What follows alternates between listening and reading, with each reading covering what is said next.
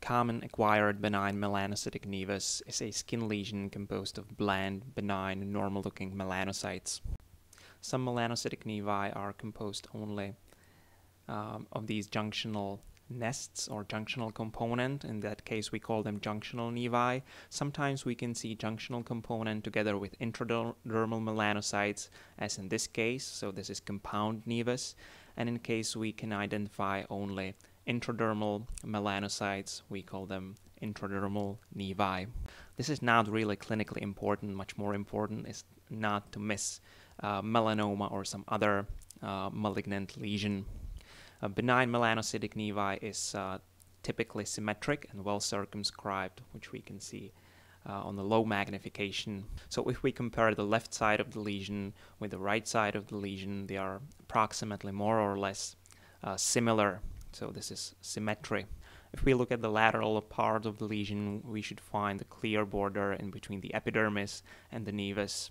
Typically, we should see lateral junctional nest in the periphery of the lesion. Uh, junctional melanocytes should be localized in the basal parts of the epidermis, and no single melanocytes or atypical melanocytes are found in the upper portion of the epidermis. That would be called pagetoid spreading or scatter, and that is a sign of uh, um, malignancy, or one of the sign, uh, one of the signs of the malignancy, because uh, you cannot never rely on the single morphological sign if you want to differentiate the nevus from the melanoma. So if we go closer, we can see the single melanocytes in the basal parts of the epidermis and also these junctional uh, melanocytic nests.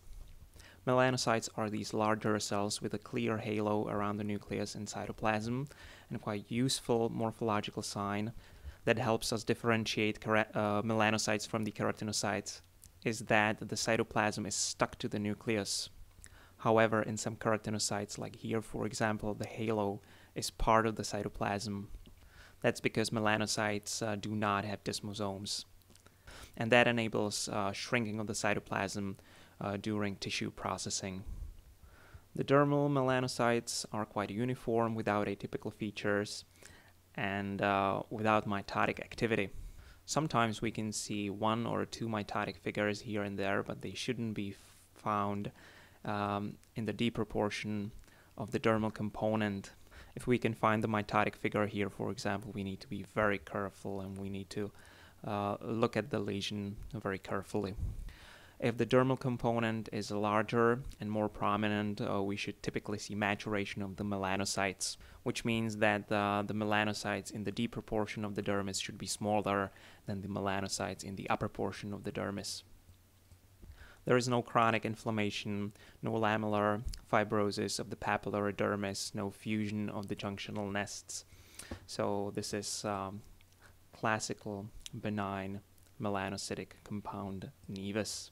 Some of these lesions can be heavily pigmented, however, the pigmentation should be dispersed and uh, symmetric.